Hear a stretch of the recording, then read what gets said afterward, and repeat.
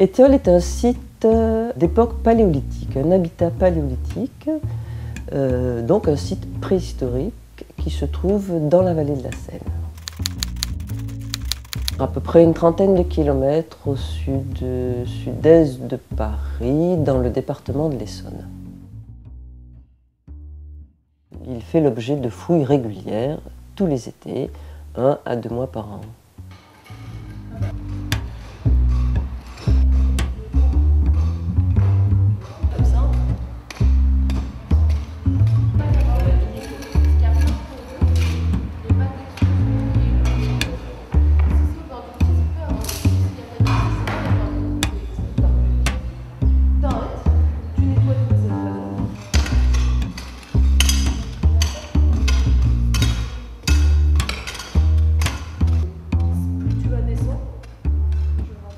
72, pour la première fois, j'ai débarqué à Étiole, sur le champ. Et qu'est-ce qui t'a fait venir ici? Eh bien, ce qui m'a fait venir, ce sont des amateurs, des amateurs de la STECMA, des gens qui étaient charmants, des vieux messieurs pour la plupart, qui passaient leurs dimanches et leurs jours fériés à arpenter les champs de la région, qui ramassaient tous les silex taillés, toutes les, tous les tessons de poterie, tout ce qui pouvait, les médailles, tout ce qu'ils trouvaient, ils l'emportaient chez eux, ils l'étudiaient. Puis finalement, un jour, ils sont tombés sur des grandes lames en silex et ils avaient quand même assez de connaissances pour se rendre compte que c'était anormal. On a débarqué avec Michel Brésillon, Jacqueline, De Gros et moi-même. On a débarqué et on a commencé à faire un sondage. Et tout d'un coup, alors là, euh, vers 4-5 heures de l'après-midi, au moment où on me repliait d'ailleurs, toujours, voilà qu'il apparaît 2, 3, 4 silex, mais jointifs, les uns sur les autres, côte à côte, comme une petite nappe. Alors là, on ne pouvait plus parler, tu sais, c'était l'émotion totale.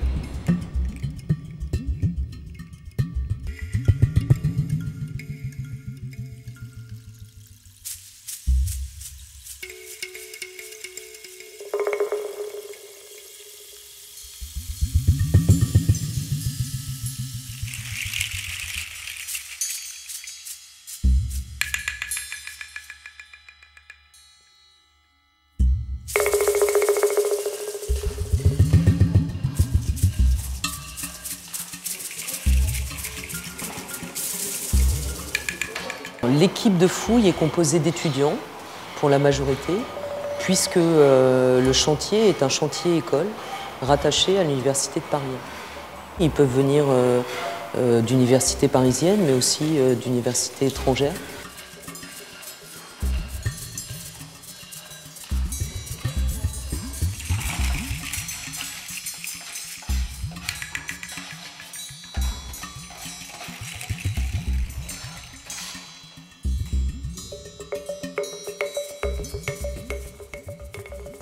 Grâce à mes débuts à Étiole, euh, qui est un gisement où les, Magdaléniens, puisqu'on les appelle comme ça, ces préhistoriques euh, qui venaient euh, s'installer là, ont, utilisé des silex locaux, des, gîtes des gîtes à silex complètement exceptionnels, qui m'ont dès le départ passionné.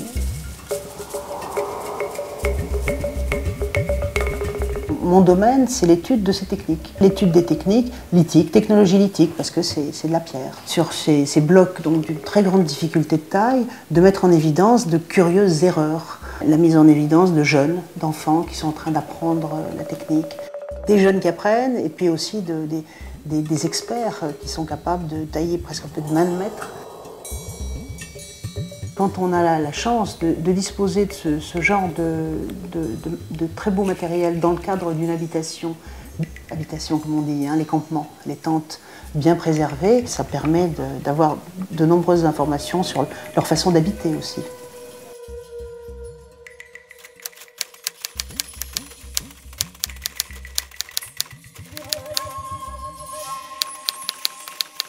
La première étape de la fouille est ce qu'on appelle le décapage.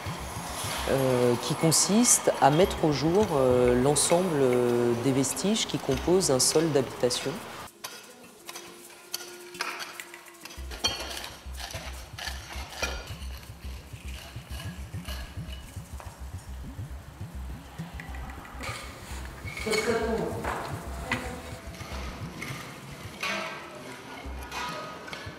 C'est quand tu vas fouiller ici et qu'on va voir comment évolue cet amas dans cette zone-là, qu'on va pouvoir observer si ça est au-dessus de l'amas ou s'il en fait partie.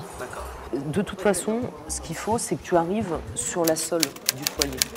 C'est-à-dire qu'il faut que tu arrives, tu vois la couleur de ta terre là Et ben, il faut que tu aies cette couleur-là un peu partout, parce que c'est le début de ton foyer.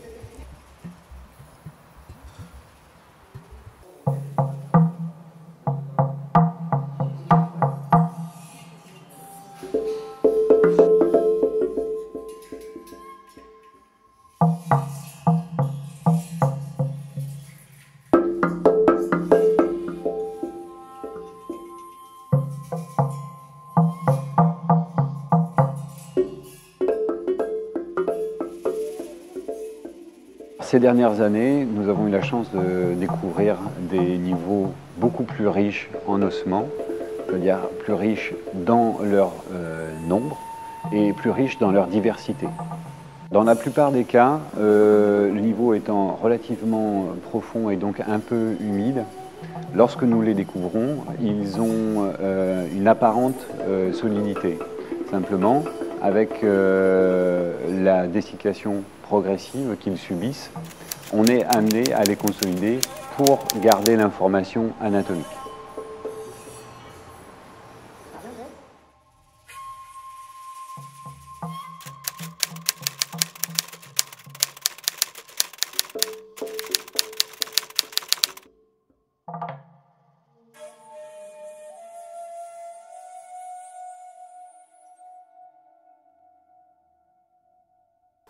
Que je voudrais communiquer, c'est mon enthousiasme et ma confiance en fait pour le site d'Étiole euh, à travers les fouilles qui ont été réalisées depuis les années 2000, de découvrir réellement un potentiel et des informations économiques de ces groupes magdaléniens et donc de la reconstitution également de l'environnement dans le bassin parisien.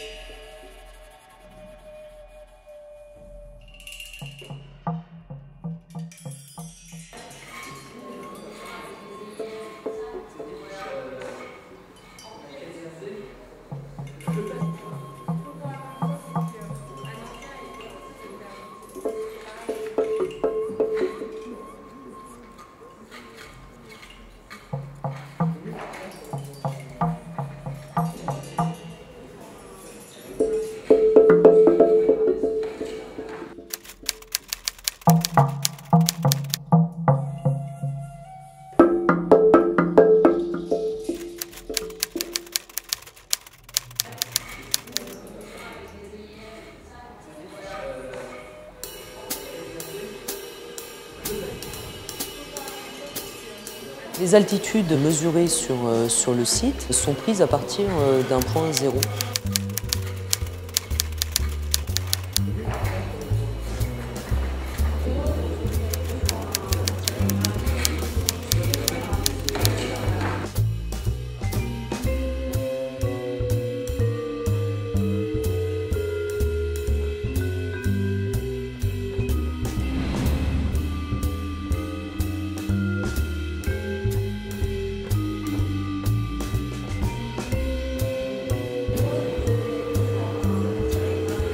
Pour démonter les vestiges qui sont euh, sur le sol, euh, on fait une photo du euh, carré à démonter.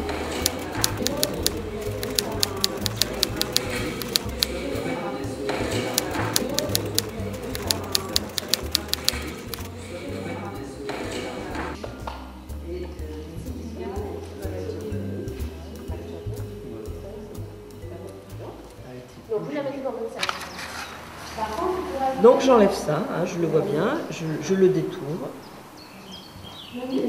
Oui. 50. Et il s'appelle 190. Et à l'intérieur, donc je marque 190. Je le saisis. Je le nettoie. Je nettoie un petit peu, mais bon, euh, après il sera là démarqué, juste pour reconnaître la pièce. Donc, Voilà, ça c'est un, un éclat. Donc tu marques éclat dans la deuxième colonne. Tu peux mettre éclat déjeté. Déjeté, ça veut dire que la- l'axe de la plus grande longueur de l'éclat fait un angle avec l'axe de débitage. Donc, il a été débité comme ça, mais il se détache comme ça. Ça s'appelle déjeté. Tu peux mettre éclat déjeté à talon épais. Et toi là-dessus, tu marques 190.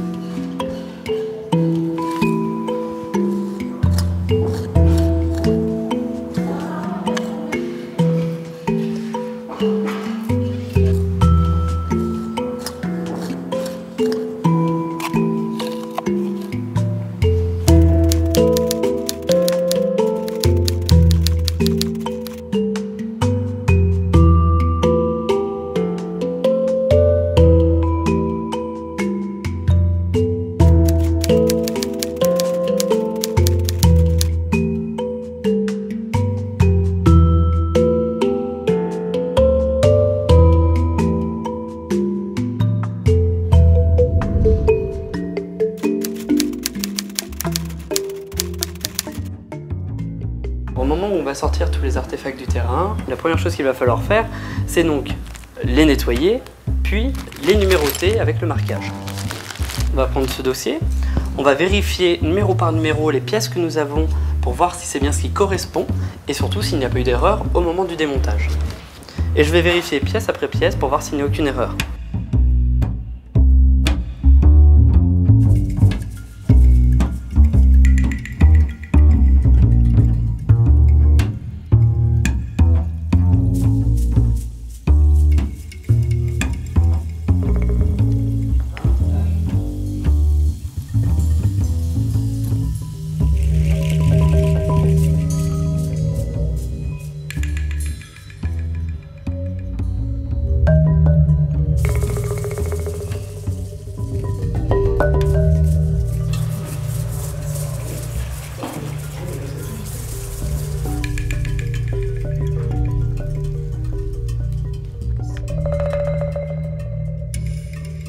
Fois qu'ils sont nettoyés et lavés, on va les numéroter, les enregistrer, les mettre euh, dans un sac et euh, les conditionner jusqu'à leur étude.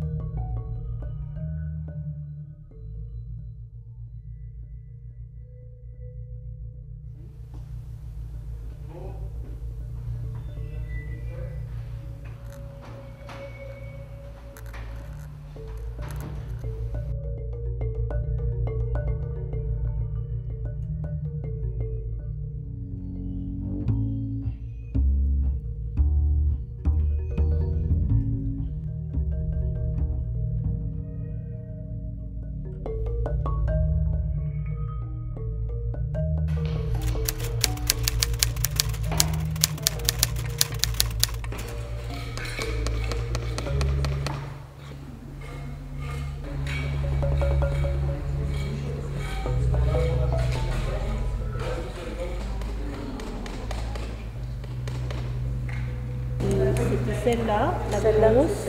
Et celle-là, elle est partie parce qu'il y a un. Et là, tu mets, voilà, tu mets ton mètre et tu as l'altitude. Voilà. J'ai mis le zéro ici. Donc c'est c'est égal à 290 couleurs. T'es à quelle échelle là? Euh, ça doit être les petits carreaux, ils font 10 cm, ça doit être le dixième. Dixième, ouais. Il y a un changement entre ça et ça. J'ai l'impression que ça, c'est plus argileux et que en dessous, plus sableux.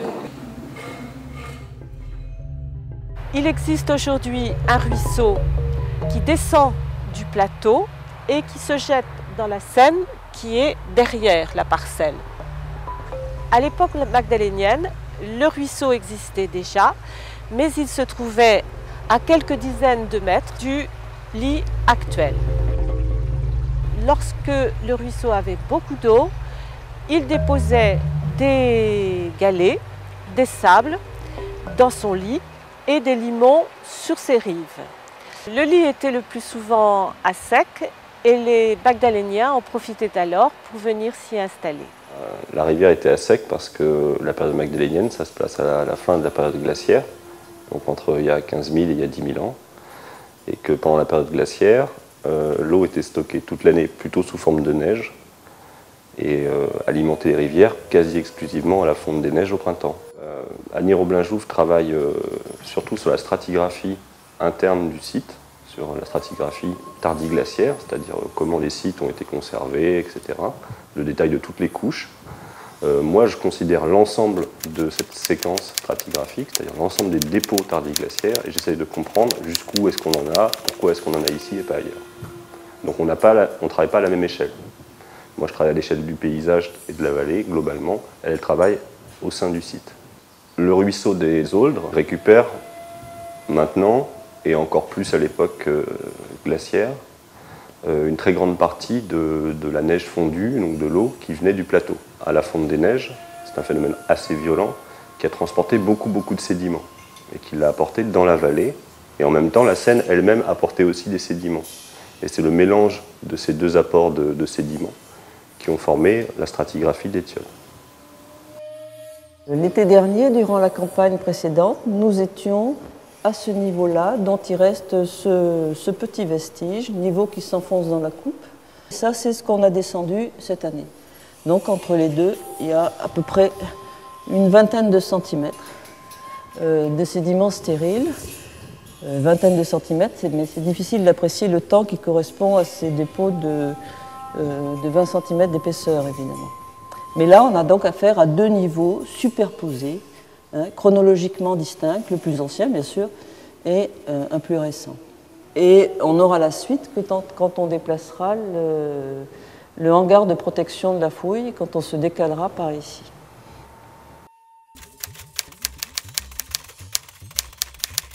Une couronne de pierres, ici, des grandes pierres autour, des silex taillés, euh, des os, il y a même un os au centre de la cuvette, des outils, burin, grattoir, un petit peu d'os.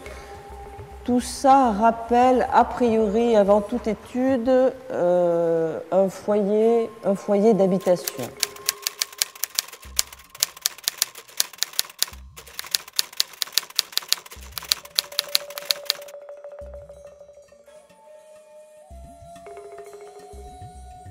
Donc grâce à ces remontages de, fragments éclatés par le feu, on va reconstituer la pierre de foyer euh, d'origine. Et comme chaque fragment euh, a un emplacement, a une identité, on sait d'où il vient, de quel mètre carré, on pourra ainsi établir des liaisons, des relations entre différentes zones du campement.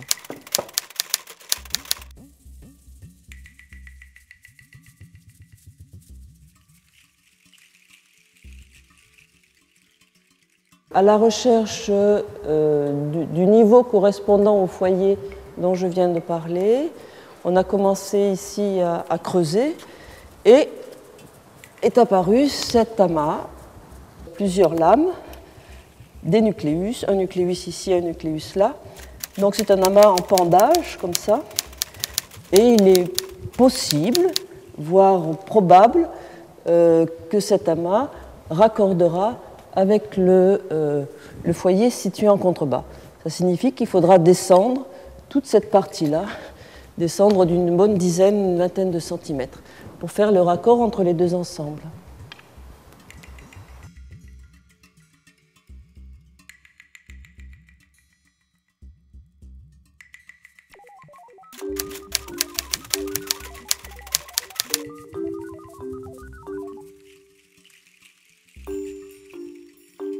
Ma spécialité, c'est l'application des méthodes radionucléaires de datation à l'archéologie.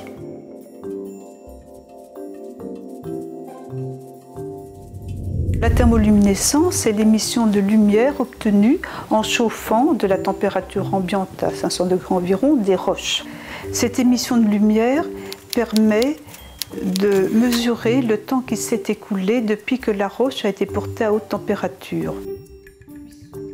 On prend le cœur des échantillons, on le broie et la poudre obtenue est disposée dans des coupelles. Alors vous avez ici l'appareil avec des coupelles qui sont pleines. Pour chacune d'entre elles, on a mis 10 mg de poudre. La lumière émise par les minéraux est très très faible. Il faut l'amplifier pour qu'on puisse l'utiliser en datation. L'exploitation de cette émission de lumière permet de déterminer le temps écoulé entre la chauffe archéologique et aujourd'hui.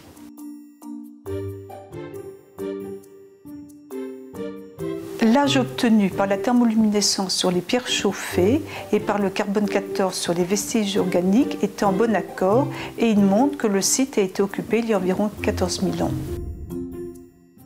Le carbone 14 est un élément qui est formé dans la haute atmosphère sous l'action du rayonnement cosmique. Ce gaz carbonique est incorporé par les plantes lors de la photosynthèse. Les animaux mangent les plantes, les hommes mangent les, animaux, ce qui fait que tout le règne vivant sur Terre a à peu près la même composition la même teneur en carbone 14 qu'atmosphère.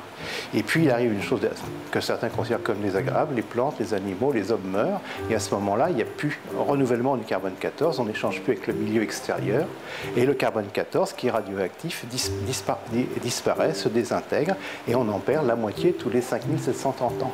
Alors la méthode c'est relativement simple, si on connaît la quantité de carbone 14 qu'il y a au départ dans un être vivant, et si on mesure ce qui reste, connaissant la loi des intégrations radioactives, c'est-à-dire la période du carbone 14, on est capable de calculer combien de temps s'est écoulé depuis la mort de l'animal ou du végétal.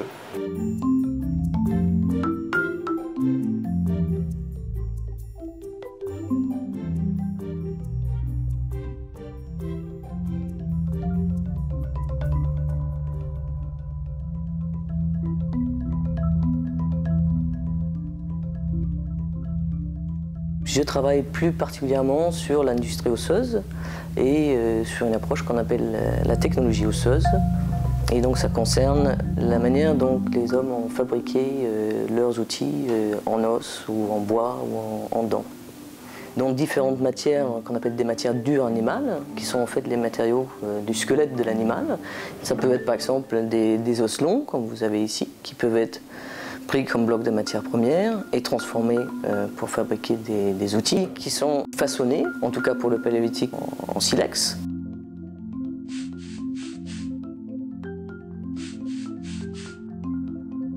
Euh, plusieurs restes, donc une série d'ossements qui provient des, euh, des, animaux qui ont été chassés par les occupants.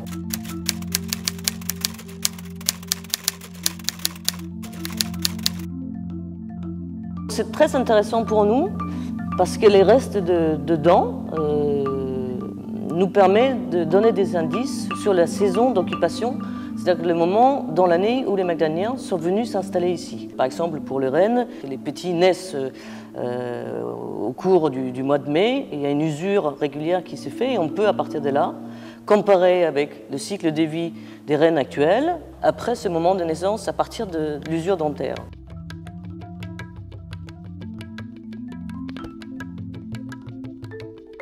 Autre trouvaille intéressant de cette année, c'est ce grand coquillage que nous avons trouvé à, proximité du foyer, hein, qui est un coquillage fossile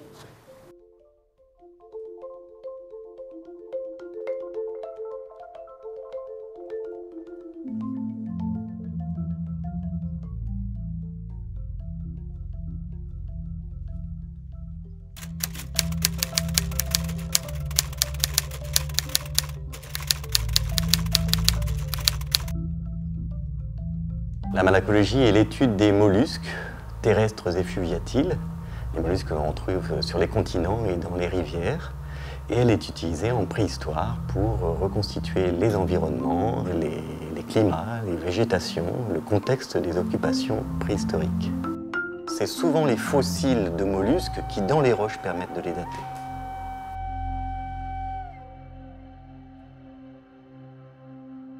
Dans mes petits tubes à essai, j'ai des tas de petites coquilles qui me servent de référence. Une collection de comparaison, une collection de références. Les païnologues ont des collections de comparaison. Ceux qui étudient les ossements ont des collections de comparaison. Tous les vestiges ont des collections de comparaison.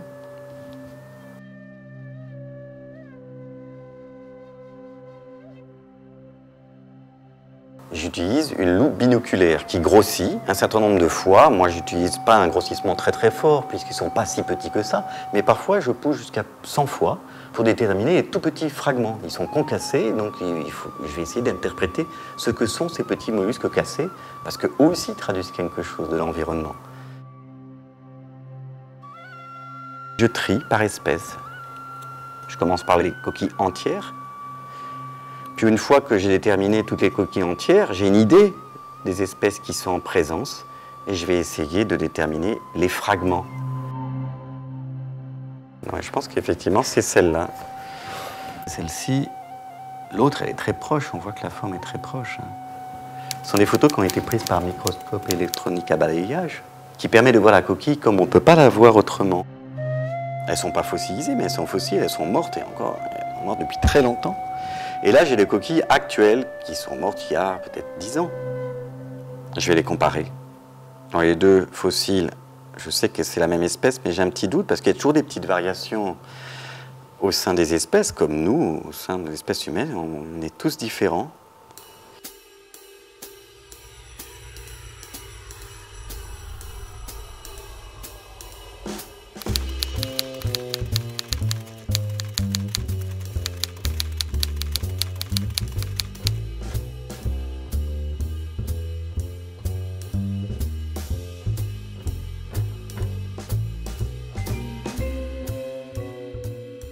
Le synchrotron soleil, c'est un très grand instrument euh, de recherche euh, qui est une source en fait de lumière, donc de photons.